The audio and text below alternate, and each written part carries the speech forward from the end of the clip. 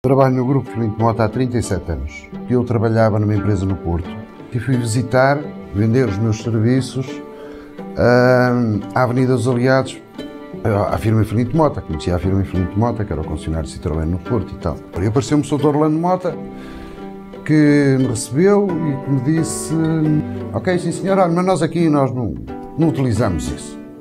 No final do dia, quando cheguei à empresa, uh, a secretária comercial chegou ao pé de mim, olha, só quando eu, ligaram aqui de Filinto de Mota para, para, ver se eu podia passar lá amanhã. Lá fui eu à Avenida dos Aliados e só queria falar com o Dr. Lano Mota. E ele lá me atendeu e disse-me, ah, está lá, se eu lhe fizesse uma proposta para, para vir trabalhar para aqui. E foi assim. Eu lá aceitei e cá fiquei em Filinto de Mota até hoje. Antes de eu ir trabalhar para Filinto de Mota, meu pai já tinha comprado um Diana com que eu andei ainda com o carro antes de trabalhar em Filinto de Mota. Se calhar uma memória engraçada que, que, que me.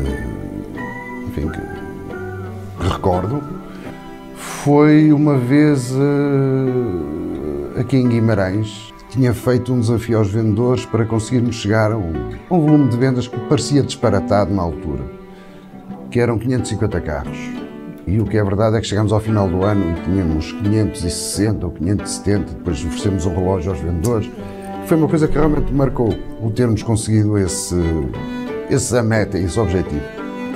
As pessoas que me conhecem sabem que eu já estive em Braga, estive em Guimarães, estou agora em Guimarães outra vez, estive no Porto, estive na circunvalação.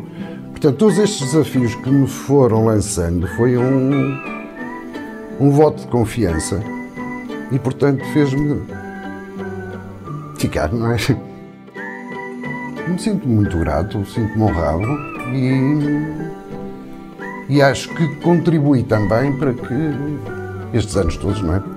Pronto, fui ficando por aqui, mas ficando conscientemente e com vontade de estar.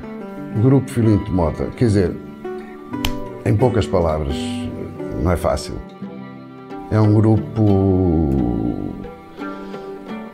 É um grupo coeso e que se foi adaptando durante todos os problemas que foram aparecendo, pelo menos do tempo que eu cá estive, e acho que para trás é a mesma coisa, o tempo da guerra, todas essas alterações, crise e tal, que soubemos sempre, com alguma ponderação e cuidado, ultrapassar as, eh, as dificuldades todas que apareceram.